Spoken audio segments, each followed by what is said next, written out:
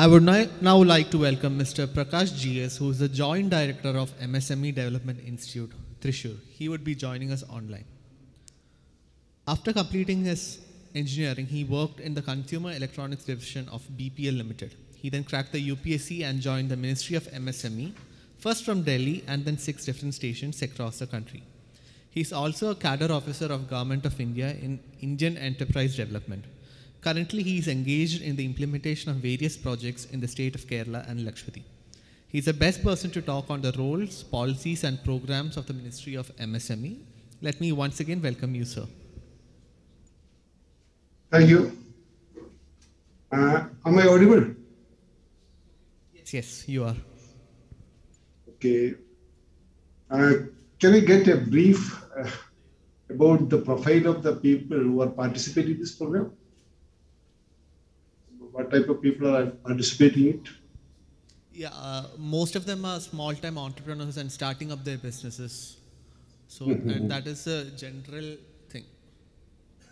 Okay, and what uh, what they expect from me is uh, basically the government's MSME related Yeah, uh, all the support. schemes, and- programs, yeah. supports, and things like that. Uh, I got a small presentation. If you can uh, allow me to share, I can share it. Uh, Yeah, okay. Uh, but I, right now I'm not able to share we it. have- uh, we have Yeah.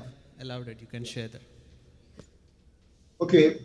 Uh, first of all, let me uh, thank the Confederation of Indian Entrepreneurs, C, CI, uh, Confederation of Indian Entrepreneurs. Uh, particularly, I am thankful to the Sri Sushil Kumar for, uh, no, Sri Sushil Kumar is in fact a, is a very closely associated with the MSME Development Institute, Thrissur and we interact very uh, very closely and we organized many programs also um, with him and in association with, with his support also.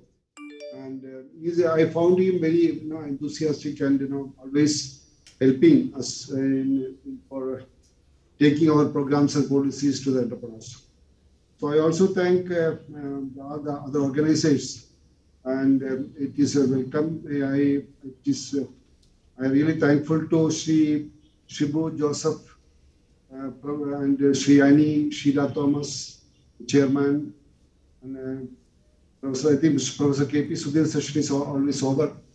So let me come to my session. um, there is a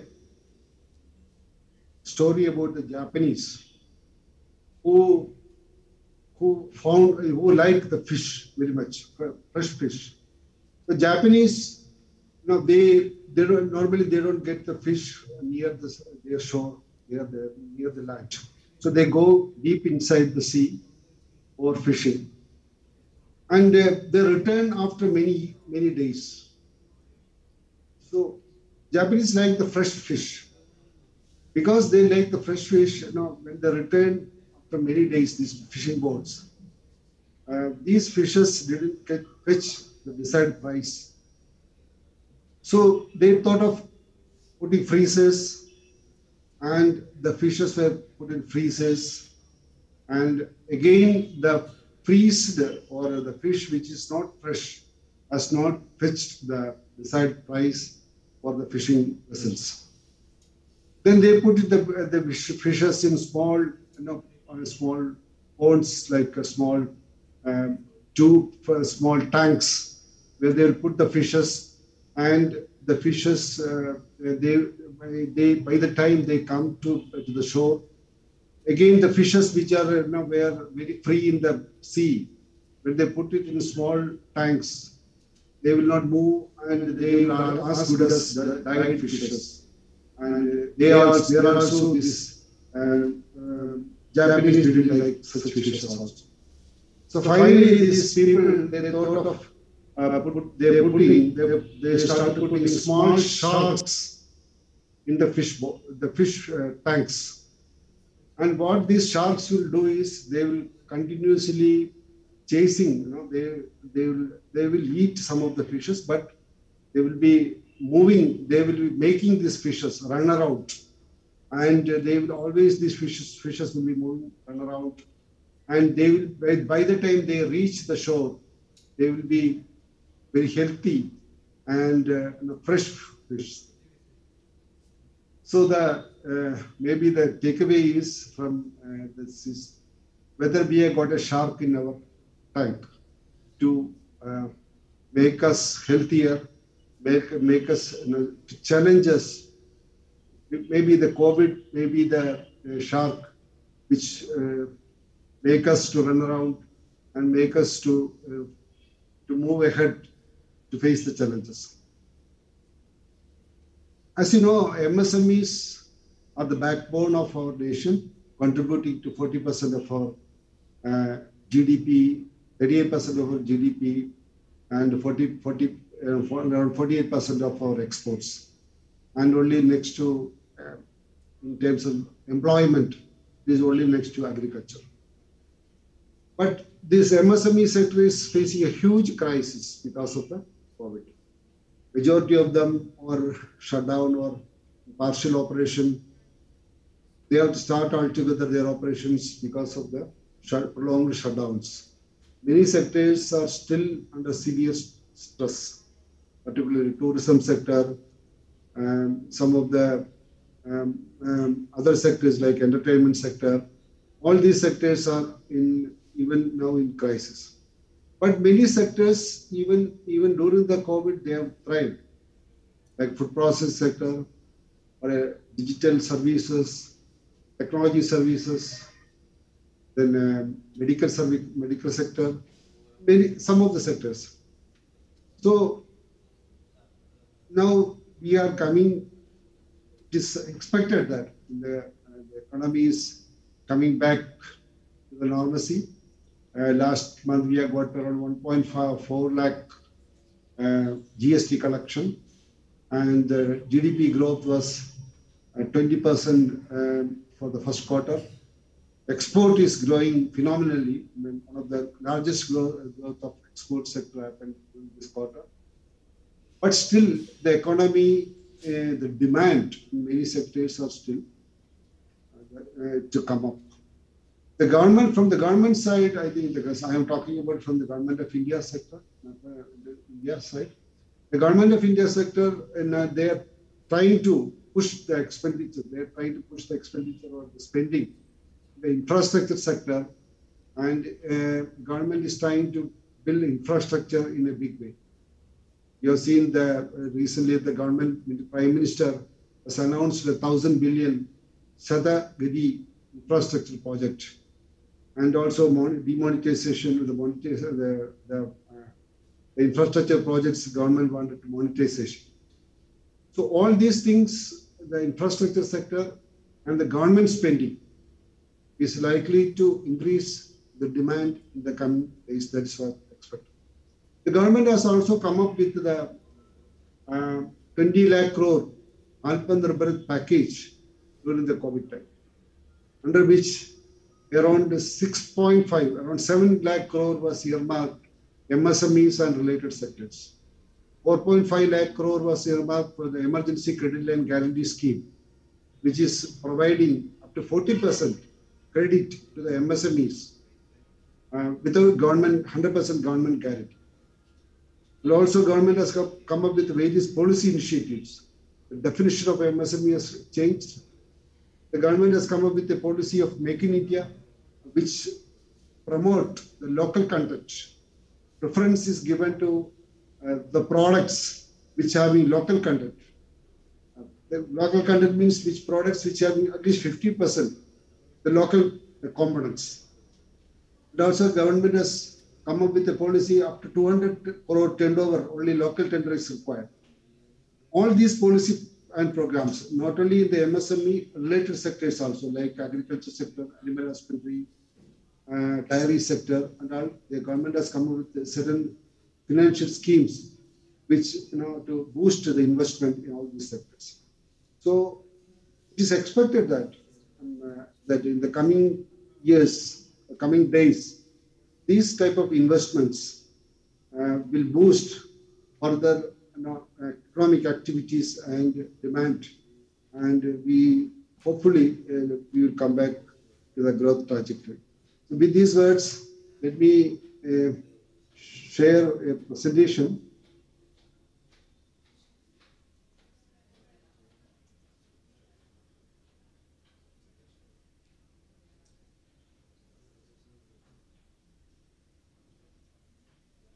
Is it, uh, can you see it?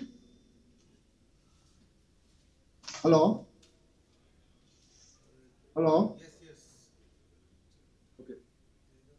Yes. So the yes, micro, yes. micro, small and medium enterprises, I'm not going to the fundamental uh, basics of the slides and all. See, MSME ministry has got uh, various organizations. Uh, SIDBI, Small Industries Development Bank, NSIC, National Small Industry Corporation are all part of this organization. MSME Development Institute Thrissur is the field office in Kerala. And we have got a field offices all over the states, all over India. MSME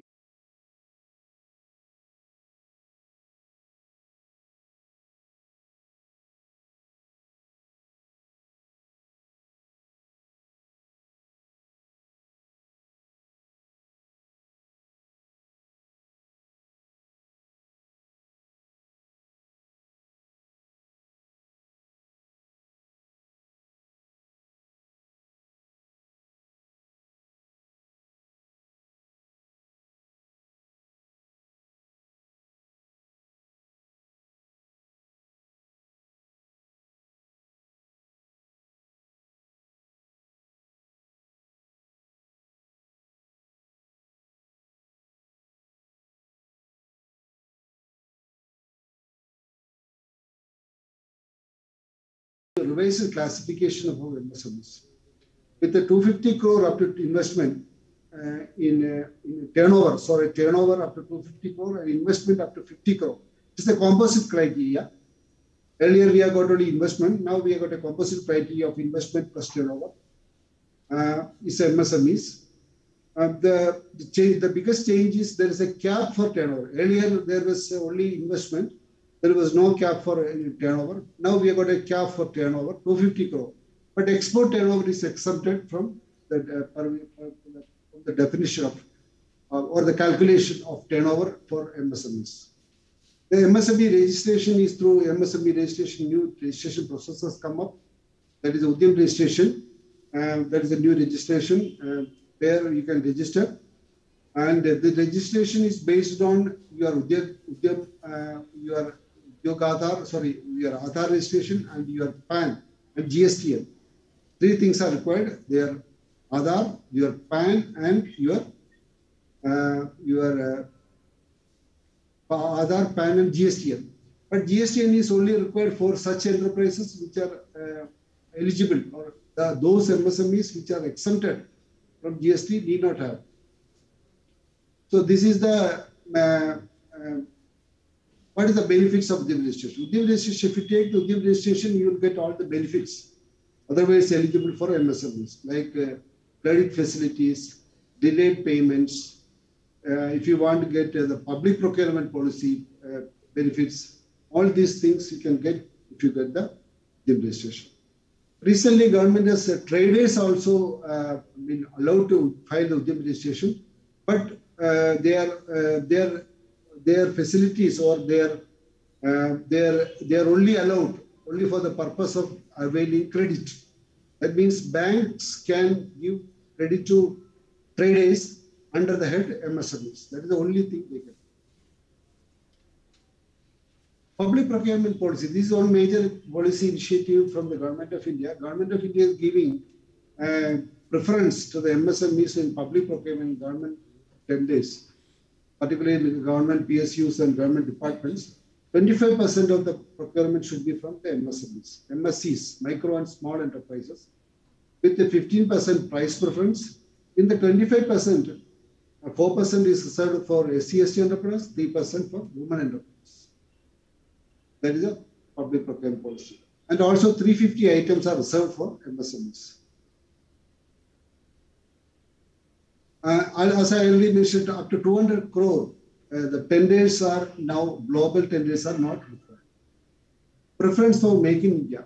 As I already mentioned, there are there's a Make in India preference.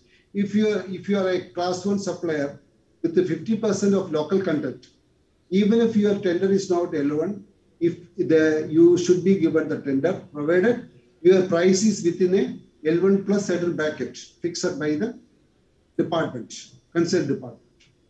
That is a Make in India policy. There is also government e-market, GEM, which allows the MSMEs to place their products uh, in the GEM portal and uh, the public sector undertakings and the government departments can directly buy from the GEM portal.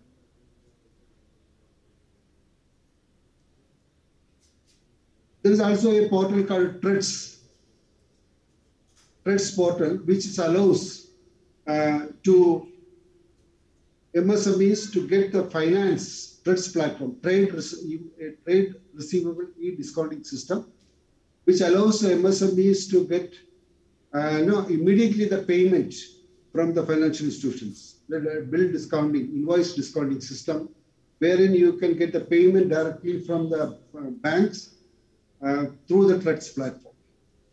If you got any doubt about all these things, you can ask questions because I am not taking uh, much time on all these things.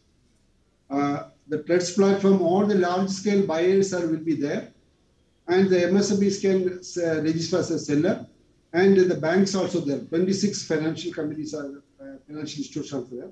So once you get the, uh, you, you buy the item, sell the items, the bills can be, invoices can be uploaded in the platform and you can get the discount.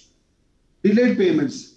If you have if you have sold items to the some large scale or any, if you are getting not getting the payment in time, you got a provision to uh, under the MSME Act to file a case under the MSME Facilitation Council through the Samadhan portal.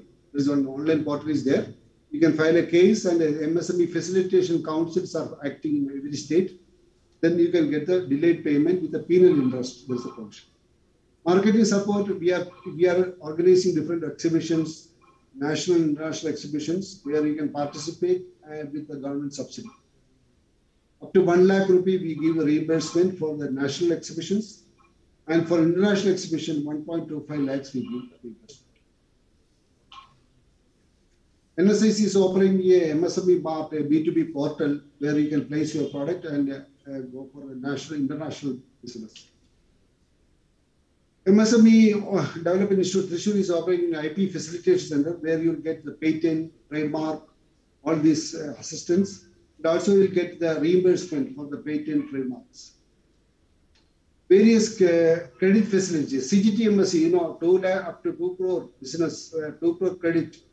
There is a provision to get the collateral free loans under the CGT CGTMSE scheme.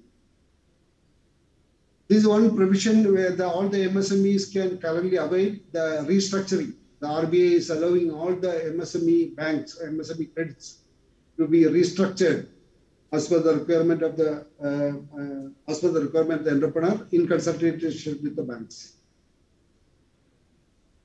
As you know, emergency credit line guarantee scheme was announced by the government, which provides up to 40%.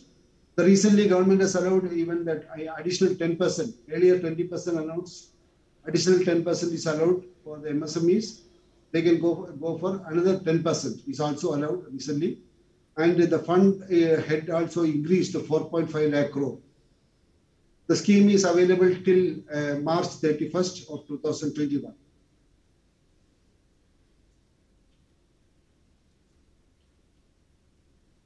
Government has also come up with a stressed accounts for the stressed account, account the subordinate debt scheme uh, if your account is trust, that is NPA or, and SMA 2 on 34 2020, they can you can go for a, a stress uh, uh, this particular scheme and you can get 15% as a promoter's contribution and go for restructuring. This is a major scheme of the Ministry of MSME, MSME Cluster Development Program, where if you if a group of enterprises come together minimum 20 enterprises should come together. They can go for a common facility center. Common facility center can be a common design center, common effluent treatment plan, common uh, common uh, pro production process, common whatever things you need, testing.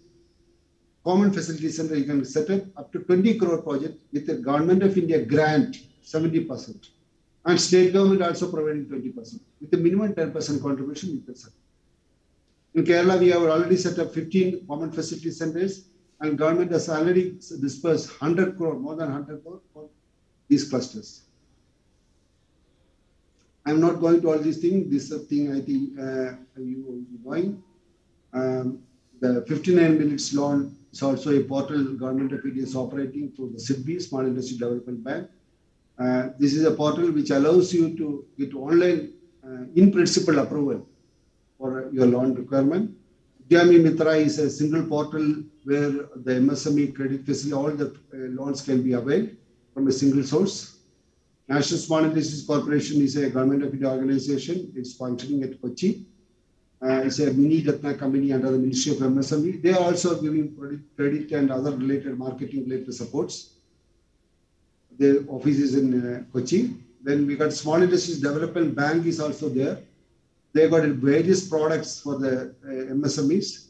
They got an office, uh, small office uh, branch at uh, also. MSME Ministry has recently come up with a champions portal where you can submit your grievances, various grievances, when delayed payments, credit related issues. All this can in suggestions also pasted here. Uh, MSME Development Institute Thrissur uh, is this is the address. We have got a website and we are our office mail ID is also there. MSME uh, Development Institute Thrissur is doing a lot of programs and we are trying our best. We have got a small office, it's around eight offices only. And with these uh, offices, we are trying to reach out to the MSMEs and stakeholders to the best possible way we can do. Uh, during the COVID time, we have organized more than 100 webinars, uh, depending upon, um, and we have provided assistance to, I think, at least uh, each program, we have more than 200 people to each of, each of these programs. Uh, different programs with technology related, credit related, various marketing, digital pay, digital, digitalization, all these areas we conduct various programs. And we are conducting now, we are conducting uh, national level awareness programs on entrepreneurship in 15 engineering colleges in Kerala. Even today, I got two programs in the morning. So um, we are trying to, um, whatever possible from our side, of course, our reach and our uh, resources are limited, uh, may not be uh, as per the requirement of the vast number of entrepreneurs in the state and the country. But these are, we are trying to, within our limitation, we are trying to reach out to the MSMEs. Uh, with these words, uh, let me conclude. And if any questions, anything, clarifications you want,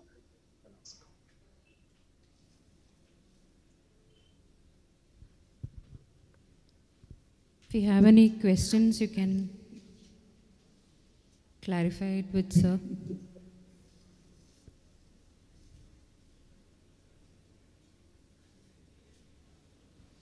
So I think uh, we'll collect all the details and I'll we'll get back to you, sir. I think that would be better. Sir, you're on mute. I am not muted. Yeah. We can hear you now. So if you don't have any question, I will end it. Okay. Okay.